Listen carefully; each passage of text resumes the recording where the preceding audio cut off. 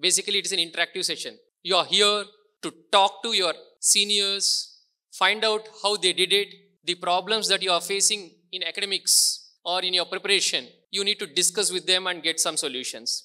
Two to three hours so that you get lot of information which really helps you in pushing yourself.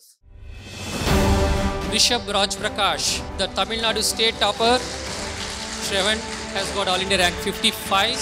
Hemashri, of course, MBBS from Stanley Medical College, 647 out of 720. See here. Neeraj Nagarajan, another student of Stanley Medical College. Varun has secured All India rank 39 in IIT JEE.